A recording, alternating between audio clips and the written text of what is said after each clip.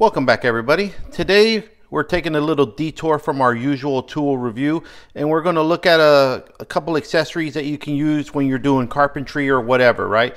First thing we're going to look at is the uh, Home Depot 10 pack pencil with VersaSharp Sharpener and then we're also going to look at the actual Milwaukee Inks Zoll and it's four of them. You got the red, black, blue, and green.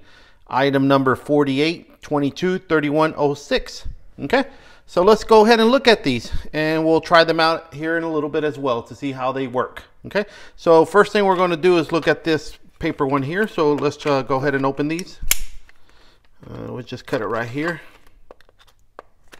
All right, I should pretty much release it. There we go. All right.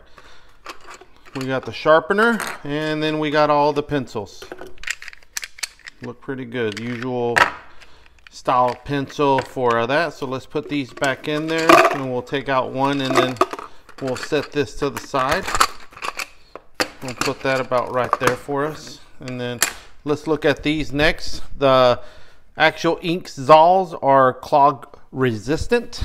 So we'll see if that's the case. We'll try it on a different uh, items and see what kind of performance we get. So let's go ahead and open these. Before we open it, let's look at the back. It says hard hat clip. So these can be clipped onto the hard hat, it says on the side. 72 hours, up to 72 hour cap off life. So it's not like your usual markers where if you accidentally leave them uncovered, they dry up. So this is supposed to fix that. Anti-roll design and it has a lanyard hold. So yeah, I'll probably never use that, but it's nice to know that it has there. All right, let's go ahead and open these up.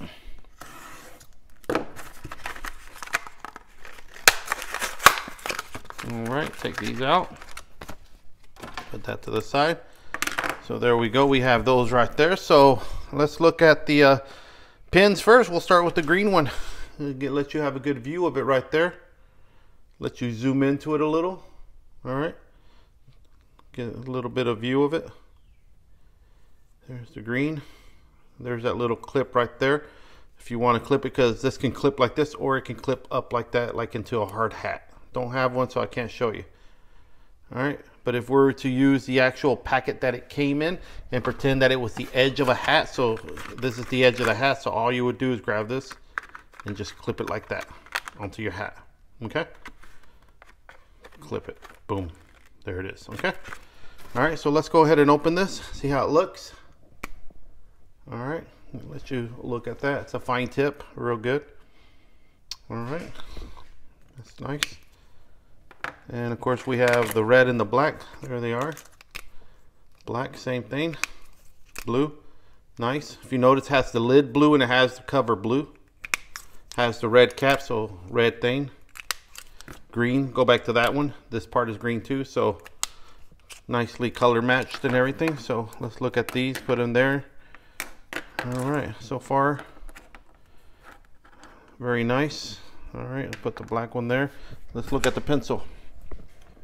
All right, says the Home Depot, 100% wood. Okay, made in the USA. Always good to support USA. Um, here's the sharpener. Says here C.H. Hanson. All right, looks like a little Viking there.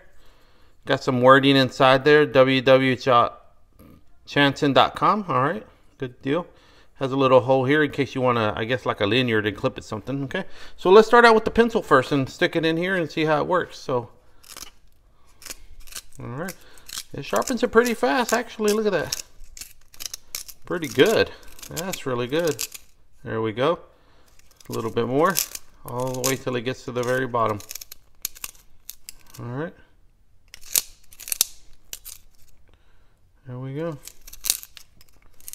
I think I took some of the lid out. All right.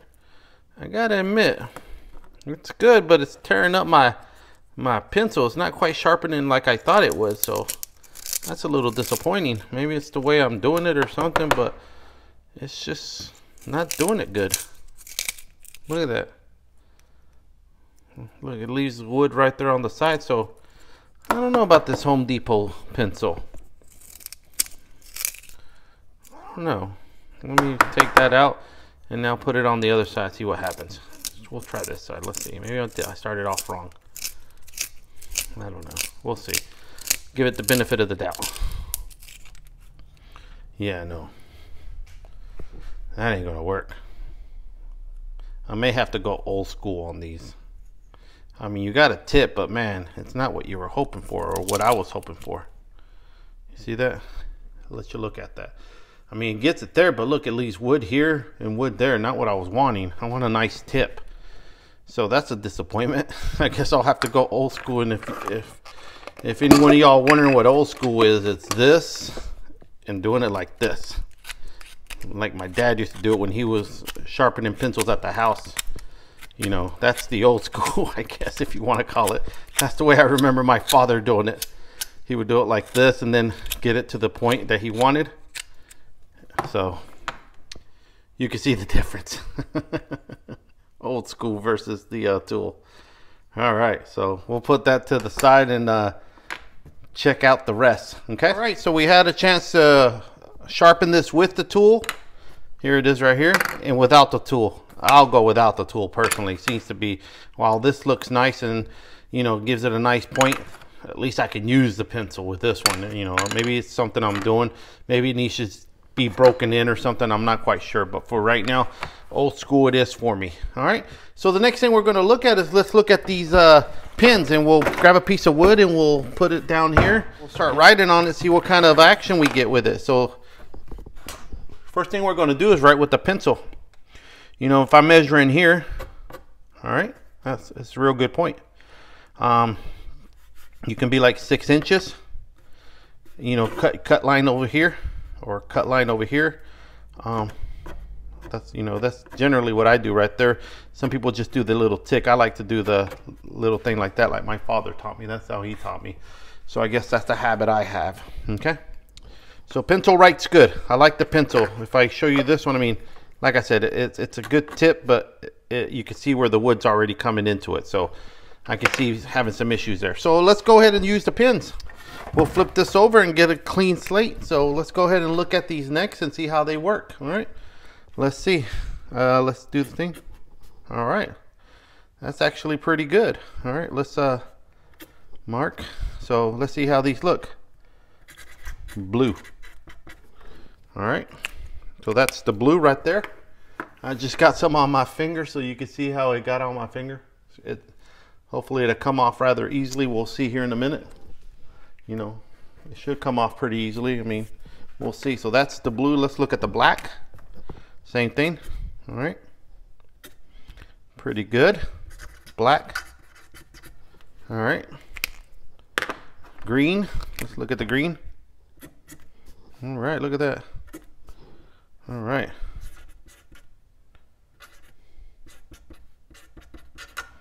Almost spelled it wrong, but that's an R, guys. it's an R. Trust me, it's an I at least can spell green, right? and last but not least, it's going to be the red. All right. All right, and then see how it looks. So they all look good and they write good. So I think the best thing about these is going to be the fine tip and the fact that you can use it. Now you can use this for measuring to get little measuring. So let's bring out my uh, my uh, home, not Home Depot, but uh, well I did get it at Home Depot but my Milwaukee auto lock and let's take one of these and see how what it does. So we'll grab the uh, let's do the red. That's fine. Let's do the red. So line it up. There you go. Put it here. All right. You know not bad.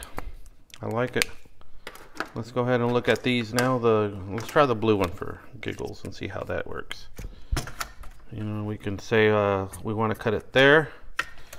And then we want to say we want to cut it here. So just a few measurements or we can go from the side and say five inches. So then I would go five inches here, five inches here, and then use my straight edge to connect those, right? I don't have my straight edge handy on me right now, but that's what I will use as a straight edge. So, I guess in summary, these pins are a good deal. I would recommend these pins. They are great.